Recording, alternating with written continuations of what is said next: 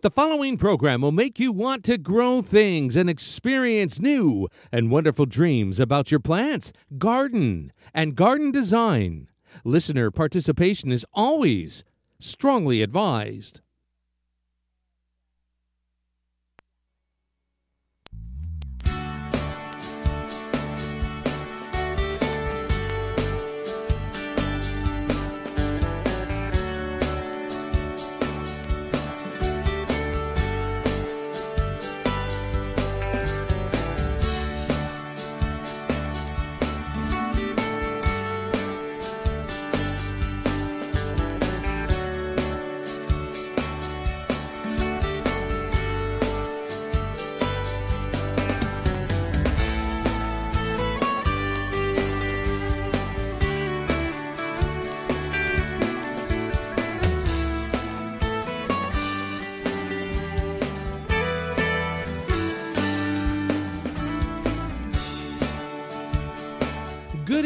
And welcome to Down the Garden Path with your hosts, Joanne Shaw and Matthew Dressing, right here on Reality Radio 101.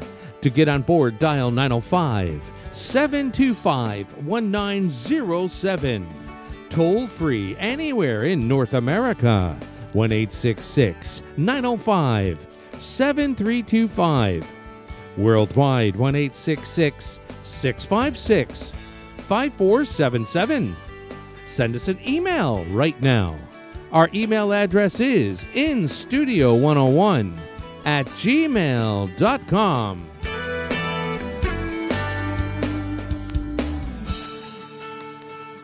And now, ladies and gentlemen, right to your hosts of Down the Garden Path, Joanne Shaw and Matthew Dressing.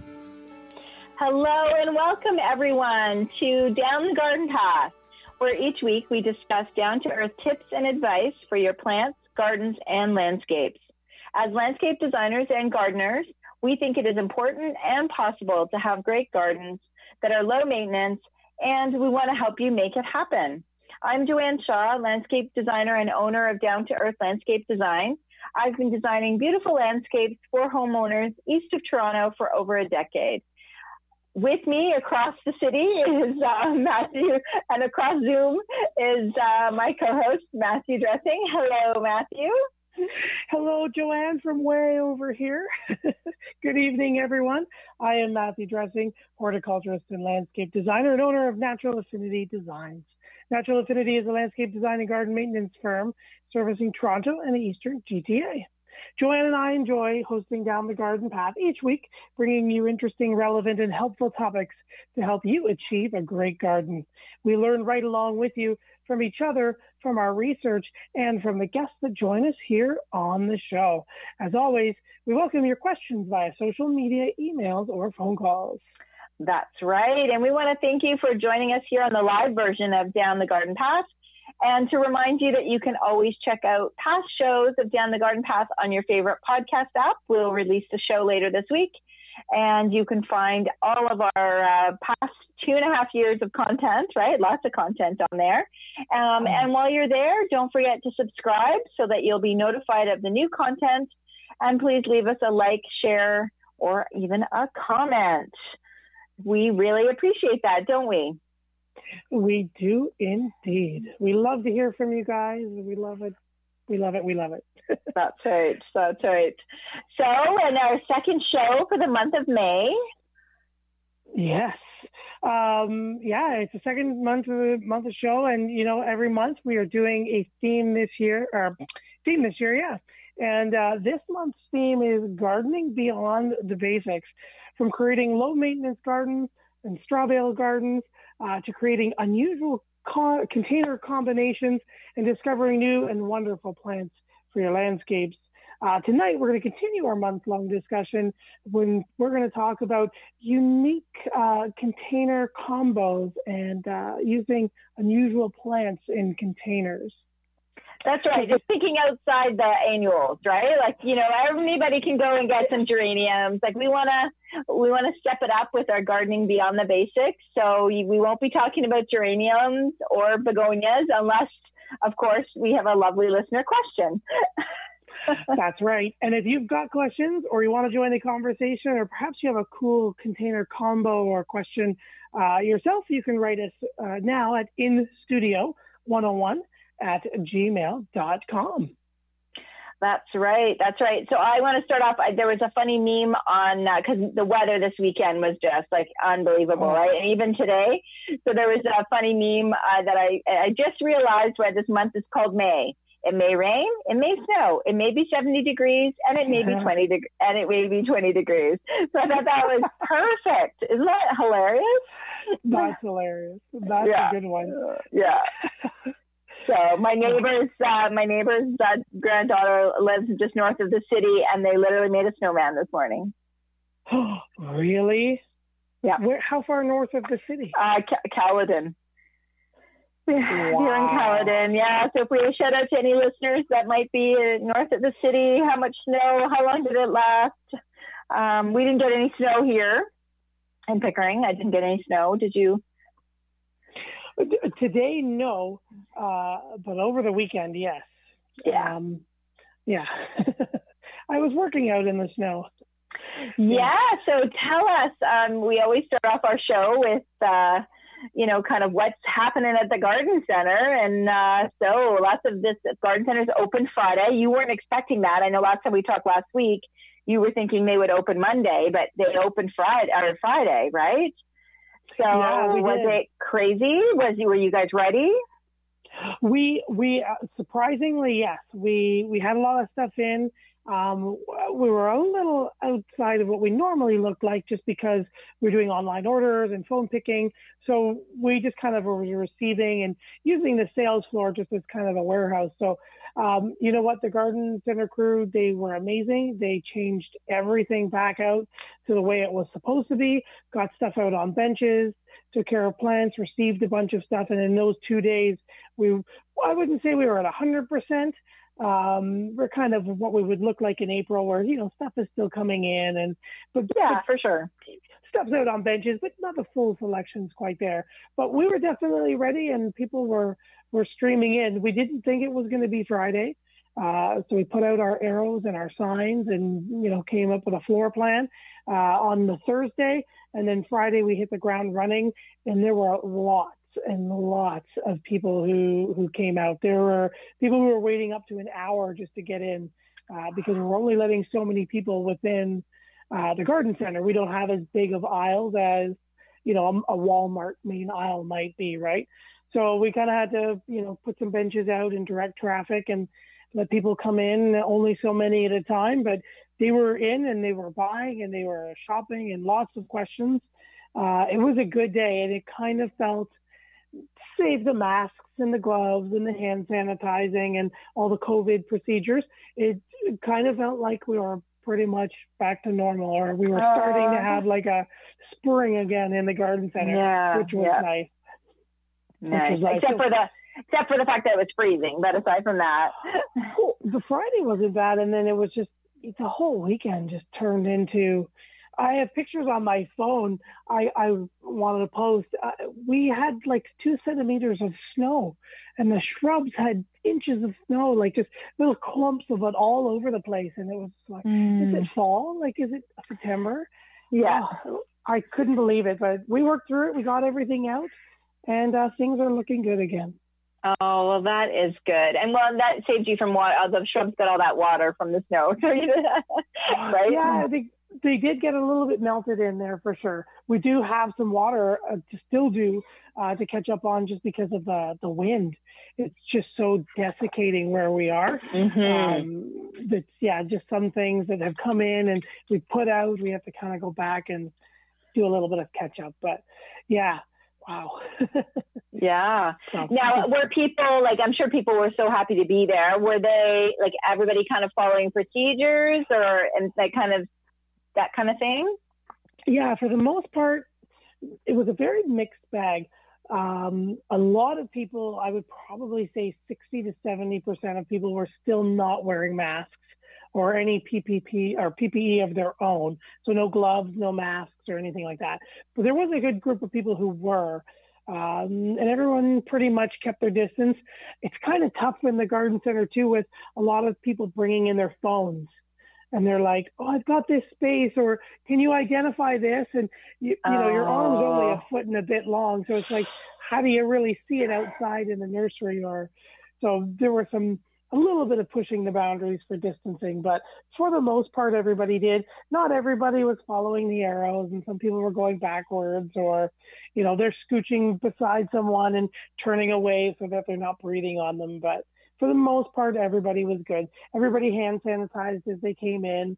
Um, yeah, yeah, everyone But was you, pretty yeah, good. you were requesting that everybody come with a mask, right? we, I don't think we were. Oh, Um, okay. We, I don't think we were. I, I think it was recommended in, in one of the e-blasts that we did. Uh, but yeah, just for your own safety. But we are as staff, we're all recommended. We all have to have um, some sort of glove on, whether there are work gloves or plastic gloves, um, and disinfect that regularly. And then uh, we also have to have masks on at all times uh, as Okay. best we can. In the nursery, being out out in the nursery part of things, uh, there were times where I was all by myself, or you know it was snowing and there was no one around. I had mine down, but on the windy weekend, it was it was almost like a little scarf keeping my face. Yeah. So Yeah. it was nice to have. Oh, that's good. That's good. And then did it get better? Like, so Friday was super busy. Was how was Saturday and Sunday? Yeah, Saturday was still steady. Um, a few less people were there. Um, and then Sunday, being Mother's Day, it was kind of a mixed group. There were people out getting Mother's Day presents. Yeah. And uh, just few, I think fewer people. We we still suspect that some people just aren't coming in because they are afraid of that it's the first time that they're open. There's going to be a lot of people. Oh, for sure, for sure. Yeah. And so that decreased, but then the weather turned, and I think that that definitely lowered our numbers for Saturday and Sunday. Yeah, for sure. And I think that makes sense. That, and especially since the weather wasn't great, so it wasn't like you could whatever you bought you could put out or you could plant, right? Um, so I think that that's a you know a huge segment. So leading up to this weekend and and things, hopefully, hopefully, I know the weather's still really not going to warm up here in Ontario.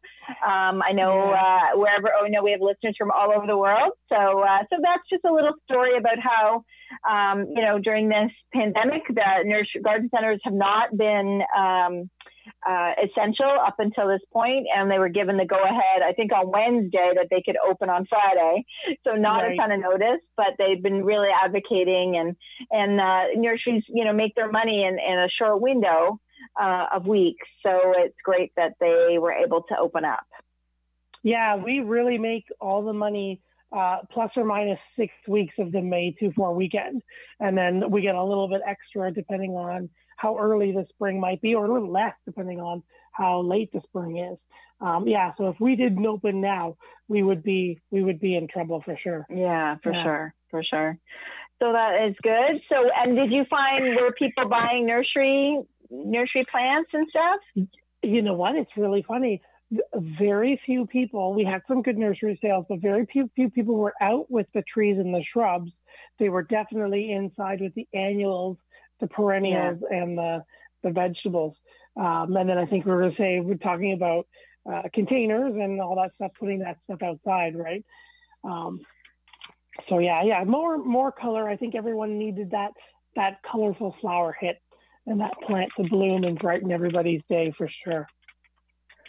Excellent, excellent. Yeah, and I think because people, because of the weather, people aren't really like tearing up their gardens or, do, you know, they're certainly planning. I, I have to say, I am busy. I'm getting lots of calls uh, for designs, and uh, so I think people are thinking about it. But I think the weather just hasn't been conducive to people wanting to do um, to do much as far as trees and shrubs go, and also the fact that they haven't been able to look at them. You know that it it's just been so recent. So so I think Yeah. that I think that will come, and I think you, you might find. I know you said that six weeks around um, the May long weekend, but I think that might because of everything going on, especially the weather. I think that might get extended beyond, uh, you know, the the May long weekend for a change.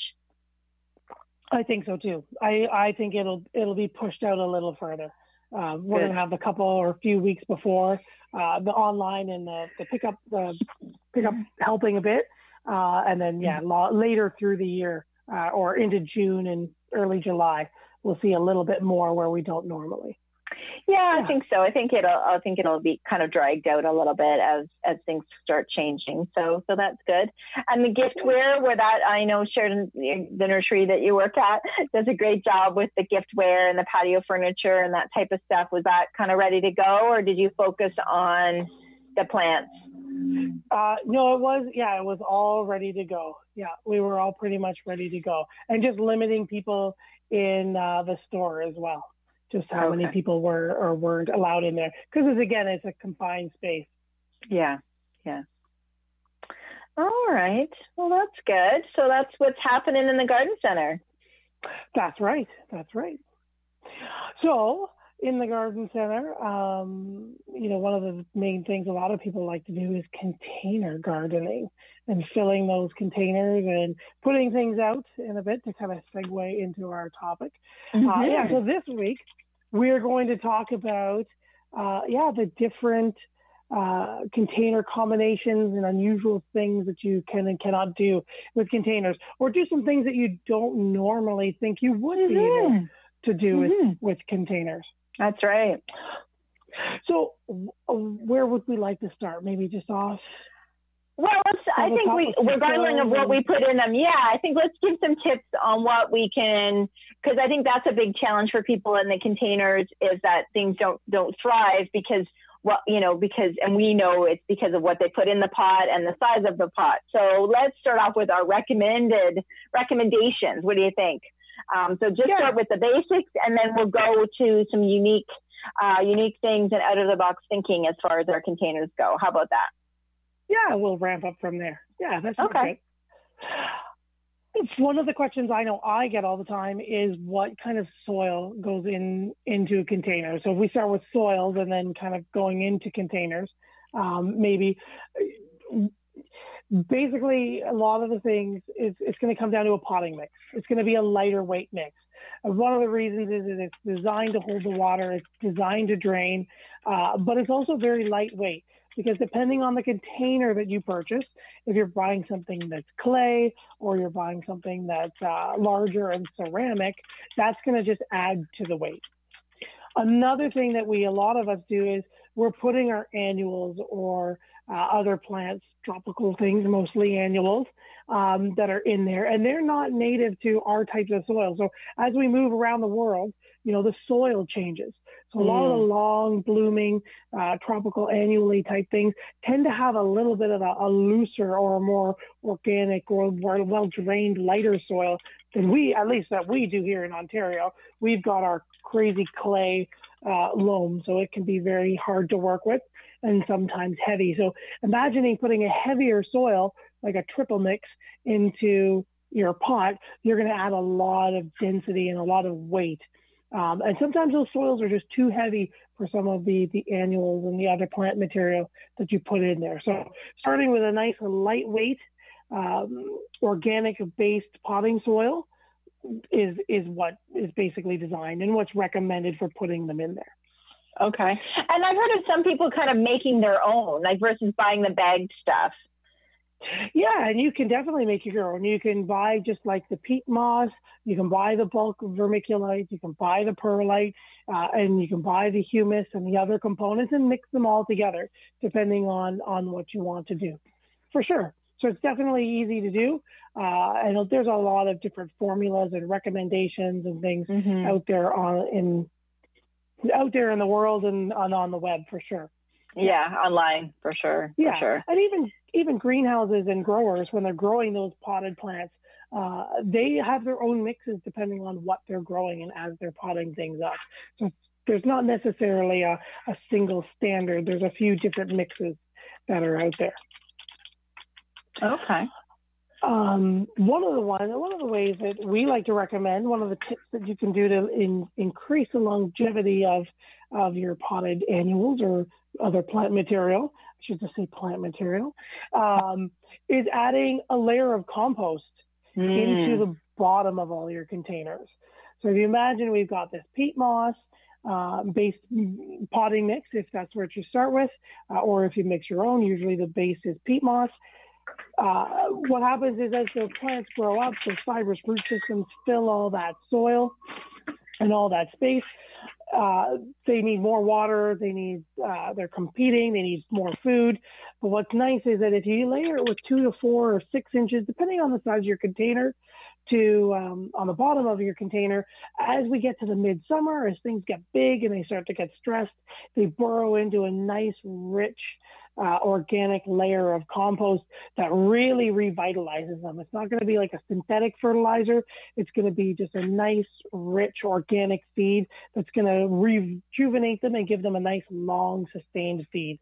Uh, so that's one of the tips and tricks that I I do personally with my uh, window boxes. I like to put okay. a little layer and then I'll put in in my normal potting mix. Sometimes okay. as well, I will just also mix uh, like a nine to one or you know 60% to 40%. I'll mix my potting mix with just a nice light fluffy compost as well. It adds okay. a little bit of weight to my containers, but as long as you don't have something really like a heavy, heavy compost, like an ocean based compost or a sea compost, they tend to be a little heavier than something like a forest based compost or uh, even a sheep and cow manure can be a little heavier too.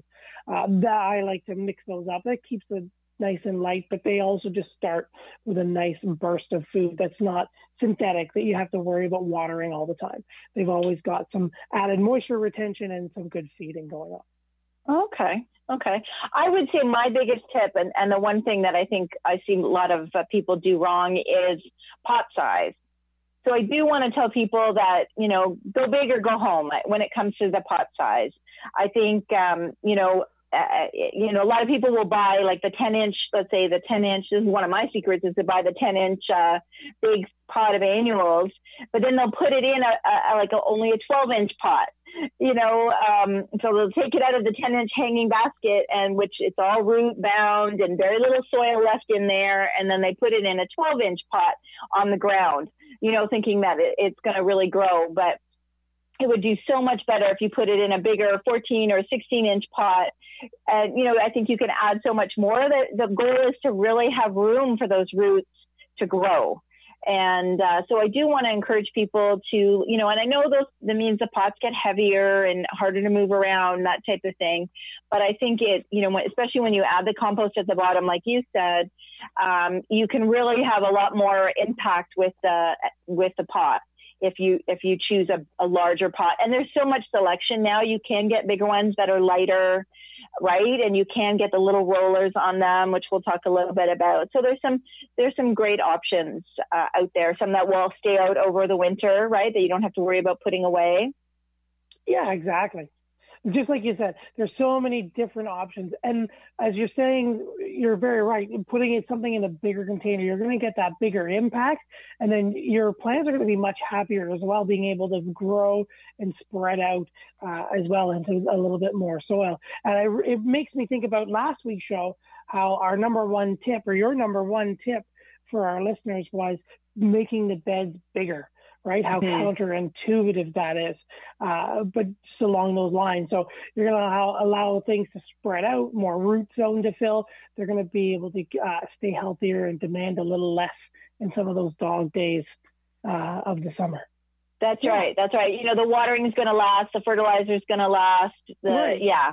Yeah, and as far as and also just the variety of plants you can put in, and when we're going to get to the plant part for all those plant plant people, but we thought we would start off with uh, some tips and tricks to get you started. Because um, because right now, if you haven't bought your plants yet because of the weather, um, you can get started on that. Right, you can get the soil mixtures, you can look for your containers, that type of thing. I know we have a few that we need to like dump out last year's you know uh, potting mix out of um, still because the weather hasn't really been conducive to do that. So, uh, so yeah. Yeah, and that's where I am too. I haven't gotten any of mine ready yet. Yeah. it's just been so cold. Yeah. So yeah, uh, look at your soil. Um, adding some compost, just naturally enriching it. It takes away some of that maintenance and some of that feeding that you have to do. It's going to give those plants a nice big burst when it comes to being hot and crazy. Uh, and then checking the right container size. Go a little bit bigger uh, for those annuals and those mixed planters and things that you might want to uh, put together as a combination, which we're going to talk about and hopefully inspire you to uh, choose a few new things. That's uh, right. and then, uh, last, I think just I didn't really maybe elaborate on your point, but yeah, definitely take a look. There's lots of different containers that are large and very lightweight. Uh, for your container. And if you you're worried about a large container and getting the weight, a lot of people are like, well, do I have to put all that space with soil? You mm. do want to put enough soil but if you have a, an exceptionally, like if you like a large columnar, very tall looking planter, you can put other things in there, like a bag of stones at the bottom to weight it down, because then that something becomes top heavy. But you could also use things like uh, recycled pots if you have old plant pots you can stack them and break them and fill them in and create enough of a layer that the soil won't sink all the way through. A lot of those pots have holes in them, or some of the smaller pots we have uh, some different size holes, right? Soil doesn't pour out and break through those. So you can make a little layer of some lighter weight material on top of something like your stone to take up a little bit of that volume. But make sure you do leave enough volume that your roots are going to spread out, things are going to fill in, and just to reduce your maintenance for it. But that's another one of those questions we always get with those super big containers. Yeah, that's true. Because yeah, as much as I say go big or go home, that there are some that are uh, exceptionally big, deep. You know, so we want the width. Yeah. You know, but you you know that the house plants, you know, or the plants aren't going to get to that bottom two feet, you know, on a four foot uh, high high container kind of thing. So uh, so yeah, so that's yeah. a good good point uh, for sure, for sure. Yeah. So just as we start to move on, I just want to shout out to Alice, who's written in. Uh, she says, Hello, Joanne and Matthew. So, very glad to hear uh, that the Garden Center is starting to get back to some type of normalcy. Uh, fantastic, fantastic. Sorry. And thank you for the show. And thank you for writing in, Alice. Thank yes, definitely. In. Definitely. Thank you for listening.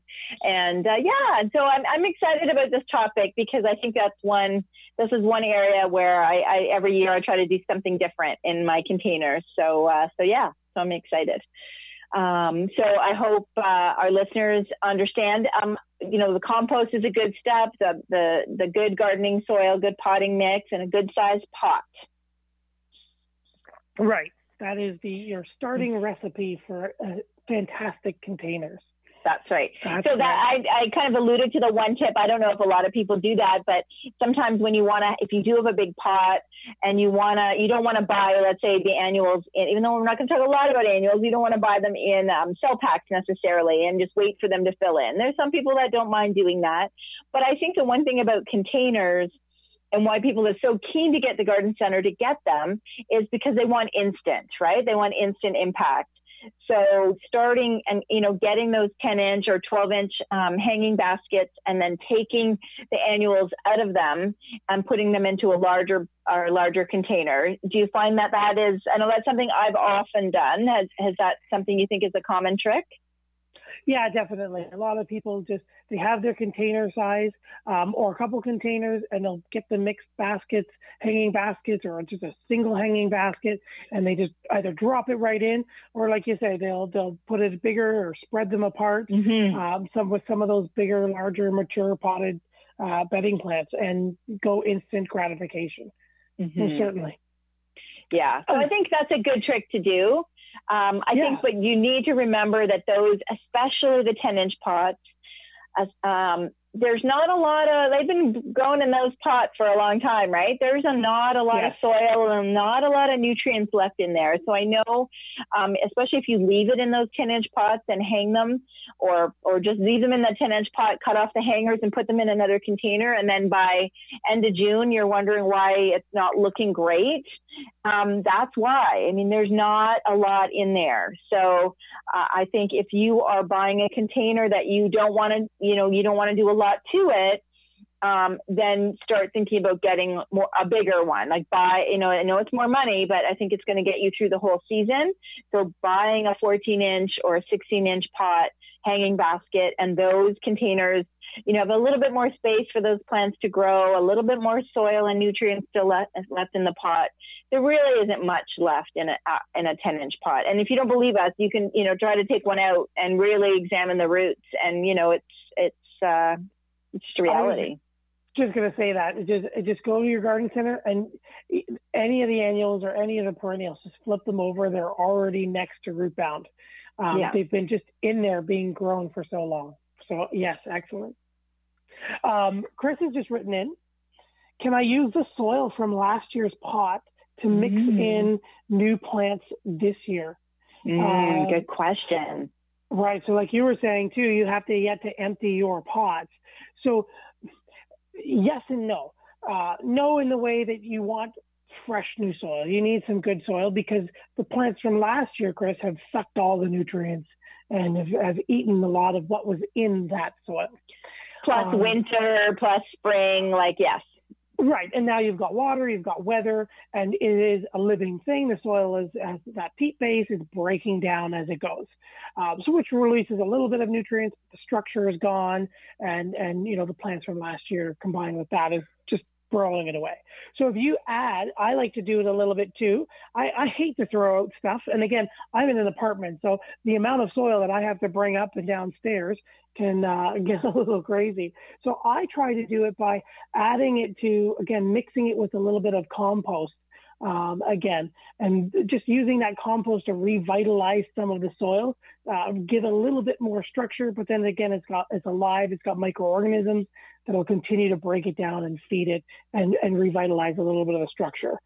Okay. I wouldn't go like full out. I've never used all the soil that I had last year because literally it just turns to dust. There's nothing there for it grow in and you water it and it just pulls away.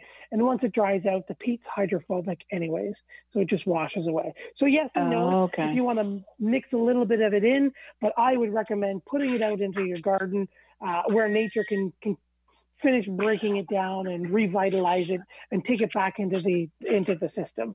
Okay, and that's what I was going to say. So if you don't want to throw it away, um, yeah. and it's it's just it's a lot of work to reuse it for you know midway mid mid kind of success. I, you know, you can dump it into your, you know, I know it's clumpy and it's got like hard as a rock and it's got root bound and stuff, but you can, you know, it's much easier, I think, to work with that and work that into an existing bed, you know, in the back, you know, than it is to work it back into a container. Like I think it's easier to make it useful in a in a garden versus in a container. Yeah, yeah, definitely. And that's me trying to like mix the two together, but I just yeah. a gardener. Yeah. Right. For sure. Yeah. For yeah. sure. And there's no harm in that, right? The vermiculite that goes into the garden, like there's no I think there's some people that are worried that because it's potting soil that it's gonna then degrade um, the yard soil or the garden soil, but that's it's fine, right? Yep. Yep. Um, yeah. The vermiculite and the perlite are just mineral based additives that they'll just vanish. They'll become part of it, and so you won't even know. Yeah. Okay. So but that was a great question. Yes. Yes. Thank you, Chris. Um, another question has just popped in while we were answering Chris's. Daredevil writes in, Hi, does it actually matter for the health of the plant if I use a plastic or a clay pot? Is one, or sorry, are one any better? Is one any better than the other? I guess you're saying. Uh, and thank you. Um, good questions. Um, yes and no. Um, we say that. You say that all the time. yes. Yeah. Exactly. I try not to. I'm trying to break the science brain down. um, yes, in the way that the clay allows air to kind of and water to be porous. Clay is porous, so it'll allow water to be drawn out um, and air to kind of circulate and help drying it out. Plastic, um, and because the air and water movement, it'll keep the root zone cooler. Whereas the plastic can, especially if it's a darker plastic, can keep the heat in the root zone. And that can warm the soil up and some stress some things out sometimes, especially if you've got like a nursery pot or something like that. But overall, no, if you have plastic window boxes or just a plastic nursery gallon container like I have out on my balcony, it, it doesn't really adversely affect the plant. So there are some benefits and some downsides, but overall, it's not going to kill your crop. Excellent, excellent. Yeah, I mean, and I think the benefits of the terracotta, and uh, you know, are are a few, but then I think the downside of is how fragile it is and how hard it is to store. Uh, you know, right. what I mean, I, so I think you kind of have to balance that out, and I think that, um, you know, just in our, especially, it depends on where you live. So certainly, if you are in a more warmer climate, Daredevil, uh, then you know, terracotta is not an issue. But in our freeze thaw cycles, terracotta can be a huge issue so I think the little bit of benefit it might give to a plant um, doesn't give a benefit to the gardener, who's then got to you know be so careful with the with the pot. Yeah, definitely, and especially up here in the north, right? Yeah, our winters would pop that like a bubble if it's getting damaged yeah. or soaked with water and it didn't dry out. So yeah, definitely, depending on where you are. If you're in California or Arizona, yeah. Don't worry. Don't worry. Don't worry. Yes, oh, our lovely. We love your West Coast listeners. We love that you love to listen to us commiserate about the bad weather when and rub it in and tell us that you're calling from uh, Las Vegas or uh, Arizona, right? Uh, and make us jealous of your weather. But uh, those are things that we have to deal with. So, so I'm excited about talking. Like I know our time is flying already. I'm excited to talk about some plants. So what are some things? Well, I think people, I mean, we all know that, like I said, we're not going to talk a ton about annuals. We're not going to talk about, you know, you know, the begin- begonias. We did talk about the hanging basket trick, so that's an option.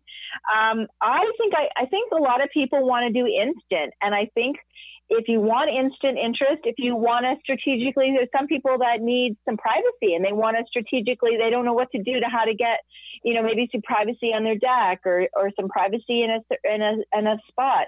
And I think sometimes you can do containers and you can put shrubs in containers there are some really again this goes with getting a large shrub because if you go with a large pot sorry a large pot if you go with a large pot then you may even get two or three seasons that that, that shrub may overwinter it's not going to overwinter forever but you know you're still farther ahead um, you got it. Because you know, so if you're buying a thirty dollar shrub, that's going to give you amazing impact.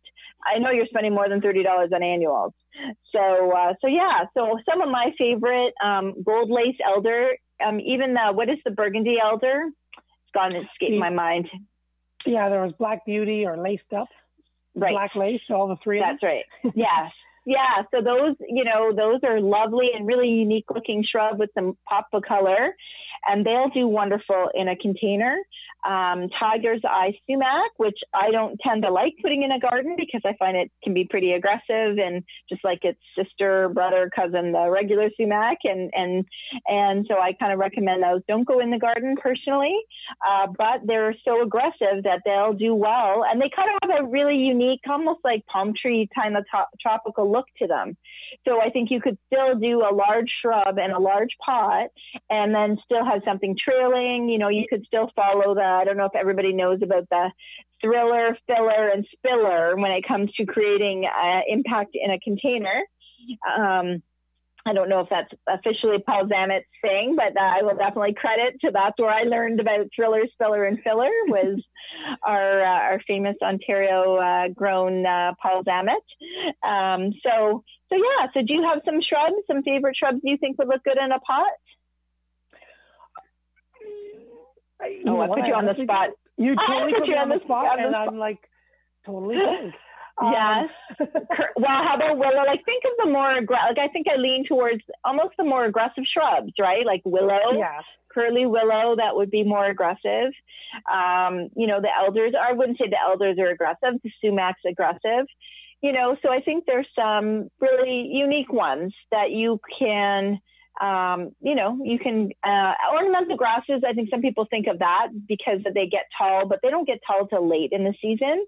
Yeah. So I, I, I, think that's a really a waste, you know, necessarily um, to to consider that as far as height goes.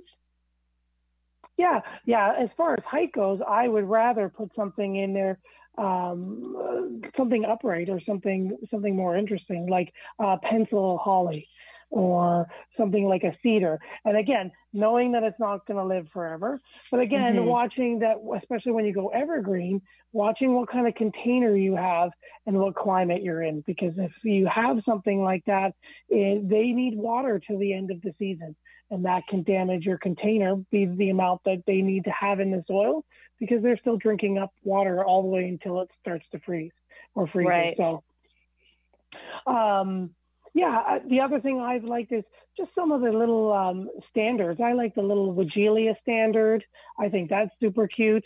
Um, I've liked, I've seen Bobo standards in some of the bigger Ooh, containers. Okay. Yeah. Um, and I've also seen just Bobo. Uh, that's probably one of my favorites. Uh, Bobo, just because it's that you know two to three feet tall, uh, but with just some like ivies and some trailing, just tucked over or tucked under just a slightly larger container. Mm-hmm. Yeah. Mm-hmm. one of the containers I like to design with, or, or, that I like to see too, is the bowl containers. Oh, so okay. Everyone kind of thinks of like the upright; it's it's taller than it is wide.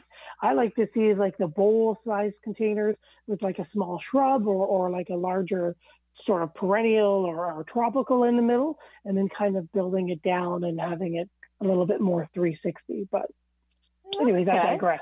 yeah, no, no, that's a great tip. That's a great tip for sure. And I think um, that's cool to do small, small, um, uh, um, oh my gosh, just small standard trees. I even wondered about putting a burning bush. Uh, you know, there's some people that have burning bush is lovely, and and people are very, um, you know, a lot of people want it, but a lot of people have rabbits and it is like a rabbit delicacy.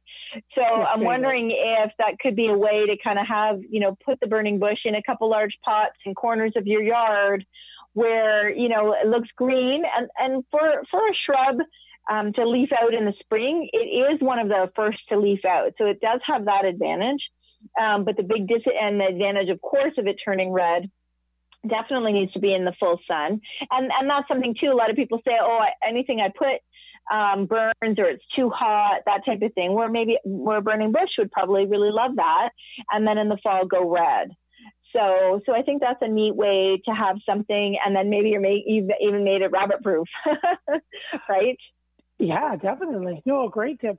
Um, the burning bush standard also comes if you just have something that you'd like some green, um, yeah. and then just have something more something further down, like some perennials and some mixed tropicals, just to kind of give you a height and a, and a backdrop. Yeah, that's right. I also picture your burning bush if using something like a burning bush um, in your containers. And I, I know I come to mind and some of our, our people or our garden center customers come to mind too, is just a container what if you had a, a, group of two or three containers where you had a nice burning bush and then something else a little bit color more colorful and you have the pot and the green of the burning bush and the two of them together to kind of create a small layered container garden area. Absolutely, yeah. Right? Think about the um, like burning bush and the gold uh, lace elder. I mean, yeah. that would be a wonderful combo where you've got the green of the burning bush all year, the beautiful lacy yellow of the golden la- of the gold uh, lace elder, and then in the fall when the red goes burgundy, you know, or the burning bush goes red, you've got it looks like a different plant. So. Yeah, yeah, I think you can definitely have a lot of fun with shrubs. I think that's a, a cool thing to do, right? Is because there's a lot of um, uh, you know, even the maybe putting some of the barberries, uh, you know, they're thorny and they're a little hard to work with, but they love it hot and dry. Um, whether you've got the lime yellow ones or the burgundy ones, they can really, you know, be a standout in a container as well. So, so I think you could have a lot of fun, um, you know, thinking outside the annuals and looking at something like that. And if it's a good sized container and it's planted well, uh, you know, you you may even get a couple seasons out of it. So, um, so yeah. Yes. Excellent. Yeah. And of course, you mentioned tropicals. So we can't, we obviously, as much as we're not going to focus on annuals necessarily, there are some really cool tropical plants. I know I've had wonderful success last year, over the moon success with my, uh, dip, my white, I got a white flowering dipladenia and I got green and white variegated ivy and white, white um, spider plants. And they made amazing. It was so, so easy and it, they made amazing containers outside my front yard. And I kept all oh the ivy did give it give up the ghost, but I did keep my um, Dipladenia through the winter, and I did keep my spider plant through the winter. So I'm I'm thinking I may do it again. Um, so I'm excited. Uh, I was able to winter one of my Dipladenia at home. I gave the other one. My mother-in-law has a very sunny condo window, so she kept the other because I thought, okay, well, like we'll split the odds. Uh, but they're mm-hmm. both doing great. So whether I can get them to flower, we'll see. Um, but uh, so yeah. So what are so Dipladenia and Mandevilla, which people kind of know them by both names, but they are kind of more of a flowering, more like a vine, right? You can even get them already on a started on a trellis.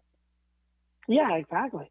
And there's another way to do to get that height in your um, your containers too, right? Is using something like a tropical or an annual vine to grow up and and create some height as well.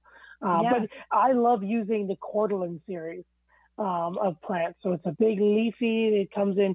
Uh, what was the? I forget what the the other common name is, but the Cordylines, uh, very big leafy, kind of layered, rich, dark, almost like purple blacks, and then edged with bright reds and pinks. Uh, and then there's ones that are green, reds, and whites all together, but they make a great thriller, that center of your container, uh, okay. to put other perennials and other things around as well. Okay. Like palms, or like would it be like because there's, there's palm trees or palm trees not. Or, palm palm tree in the sense of the house plant palms, right? And mm-hmm. banana yeah. banana banana plant. Are they banana plants or banana palms? What are they? Yeah, they're technically yeah, there are bananas. Yeah, just like okay. bananas, true bananas. Yep. Yeah, they are shockingly yeah, they are shockingly tall for the small size pot their roots, right? They're they kind of will surprise you that their pot that the, the roots are in are is actually pretty small in comparison to the scale. So which is good because then you can still fit them in another larger container. And that's another one. I know I use that uh, for the last couple of years as privacy as well. So you can put those in in a pot uh, on a deck, as long as it's not windy, because they will be blowing over a little bit. Um, I think I had to do a bungee cord to keep it from blowing over. Um, but uh, there, where there's a will, there's a way, I guess. Um, but yeah, if you wanted some screening, I know um, we might have some listeners that are like you and, and condos or apartments and that want to still have something really interesting out on the balcony. Um, so yeah, so looking at tall um, things like tall house you know, plants, you know, big things like uh, like that, and then adding something to the maybe to the base or maybe trailing uh, over as well, and it's really doable, isn't it? Yeah, it's very easy and very doable for sure. Before we move on, I think we have a couple questions.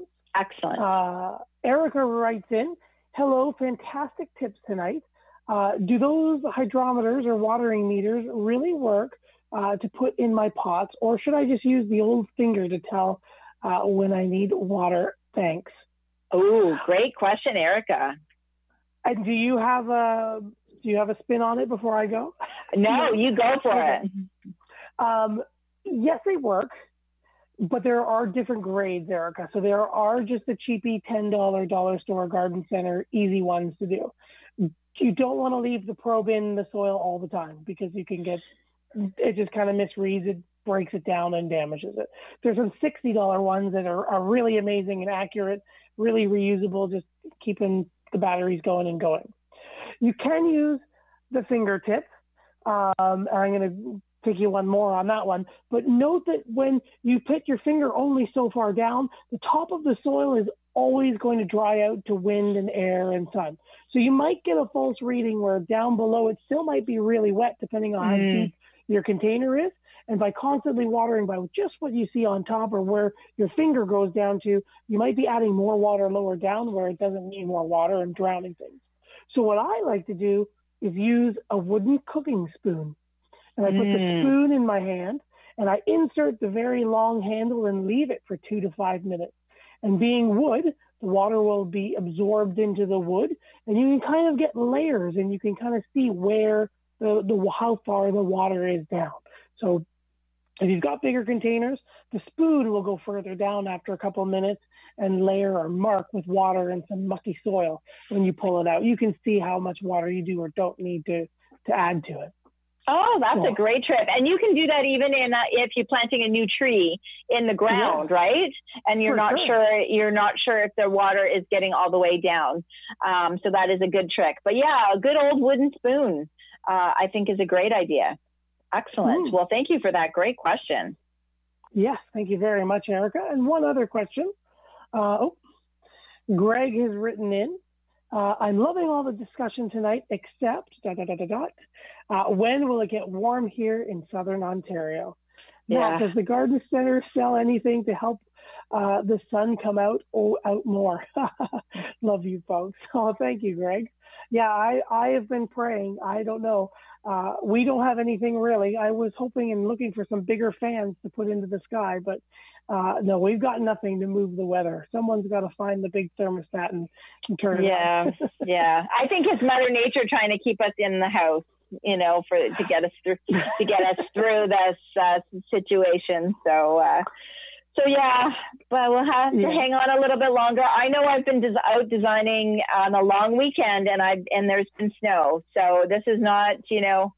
Not every year, but uh, it has happened before. So, uh, so yeah, Yes, and I keep thinking, remember, our like average last frost date is the May 2 4 weekend. So it, it's gotten that by reputation, and now Mother Nature's really showing us that reputation. That's Yeah. why we're waiting till the May 2 4 weekend. Yeah. This Now we call it the May. I do want to say ask about that because we call it the May two four weekend, but this but because it moves around, this year this year it's a little early, and the May twenty fourth is the following weekend. So I think we should still stay close. You know, stay close to the twenty. You know, twentieth, twenty first, twenty. You know, in there. Don't you agree? Yeah, yeah, yeah. Just don't go by the long weekend so much as the actual date of that. Of the twenty Yeah, four. closer to the 20 to the 24. Yeah, yeah. Yeah. I yeah. agree. Good, good. All right. So tropicals, I do want to talk a bit more about those. Um, you know, they, I think a little bit of a heavy feeder, but I think all anything we put in a container is going to be a heavy feeder, right? Yes, yeah, they're all going to be con- contained. They're going to have other plants with them, and they're all going to be competing. So Yeah, giving yeah, a little bit of extra food just to keep up with that competition. Yeah, Okay. for sure. Okay. And I think people, um, you know, at many other annuals, people think of color, but sometimes less is more. So I think simple things like the Boston fern is always super positive, uh, Yeah. and it, it just looks classic. Um, the um, foxtail fern, the asparagus ferns, like you can do some really nice, just you know, especially if you had a cool, funky pot or like a like a, let's say a really dramatic black pot, and then just a simple bright green. You know, you got to love that color of those those things, those tropical plants. So that is Yeah. something to think about, right? It isn't. It doesn't have to be orange and pink and and red. You know, it can be. Um, they can look great in uh, in some really nice spots and really add that nice contrast, and especially in the shade, right? Because some of those um, those ferns, some of those tropicals, even though we think that they want all a ton of sun, they actually don't want as much uh, as we think they do, and they are better in a, in a part part sun location versus a you know a southern or western facing uh, really really hot. Um, so when you get into the foxtail ferns and that type of thing in Boston, the Boston fern will grow, I think, even north facing, right, with very little light. It'll last you Yeah. the season. Exactly. Yeah. all the tropicals you go by, they were they weren't grown in direct sun. They were grown under shade cloths. Yeah. Right. Exactly. We've got like five minutes left. Yeah. one, did you have anything to add before I throw maybe one more out there? Uh, no, no, and we didn't even get to talk about perennials, but uh, yeah, you go ahead. You go. What are you going to talk about? so just leading into like what you were just saying, perennials, you said not the big grasses, but the cooler season, shorter grasses like the carexes and the Japanese forest grass or the blue fescues make nice little additions uh, Ah. texturally and color wise popped in and around them. Yeah. One of the things that I'm looking forward to trying this year uh, out on the balcony uh, is a water garden in a container. Ooh. And you can definitely do that. If you've got electricity, it works a little bit better just because you get the water movement. Um, and now, even right, we don't want the mosquitoes, uh, Right. depending where you are. So just agitating uh, the water, but you can usually get some solar things to agitate the water. But there's a lot of great shallow water tropical plants or, or water plants, sorry, uh, and some hardy ones too uh, that may not overwinter in your container. but that you can put out on your balcony for a little bit of water and and uh, or your balcony or out into your yard in a large water bowl that can add another little dimension. And maybe you don't have enough for a pond, uh, but a nice, you know, 24 inch water bowl can add you that trickling water or uh, some small fish or some sort of water pond life. Uh, oh. And it can complement another grouping of containers. I think that's a whole show on its own, Matt. I think so. but we are talking about gardening beyond the basics. So those are some more advanced things for sure. Yeah. Um, you know, I think coral bells and um, mm. and hostas are still great additions to um, to planters. Also, so thinking about those, and I know I've done. Um, I loved Little Lime when it first came out, and I was able to.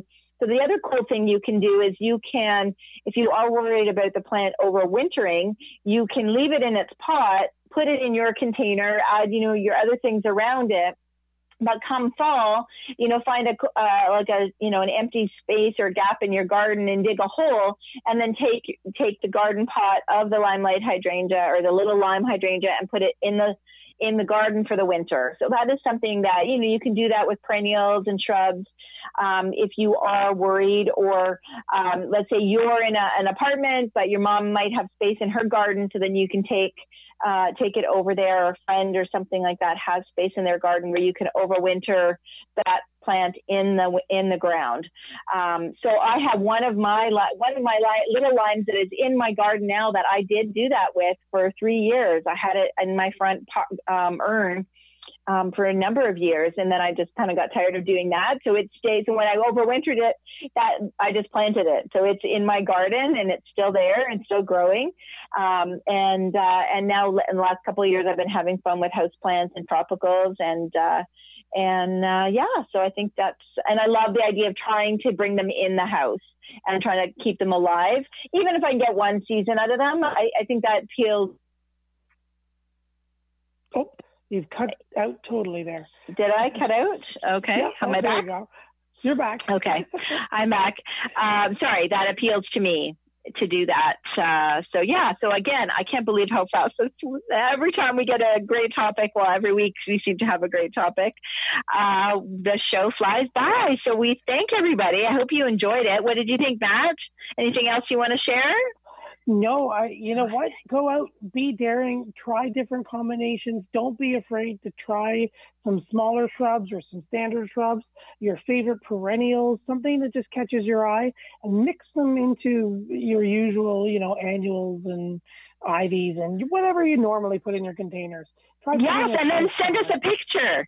So we'd exactly. love you to send us a picture. You can email us at instudio101 at gmail.com, right, Gary? Um, and, uh, That's um, right. Or you can uh, share them on our Facebook page at Down the Garden Path Podcast. Uh, in our fa- Facebook page, uh, or even tag us. Or like if you're going to share them on your Instagram, then you can even tag us uh, on Instagram at down the part down the Garden Path Podcast um, on Instagram. You can tag us, and we would love to see what you've come up with. Exactly, exactly, and we'll share our containers this year too and see what you guys think. That's right. That's right. So uh, we hope we learned some things, and we hope we got we we gave you some great ideas to kind of get out of your comfort zone. That's right. So thank you, Alice, Chris, Daredevil, Erica, Greg. Thank you to all our listeners for tuning in this week uh, to Down the Garden Path. We will be next week uh, back with a brand new subject.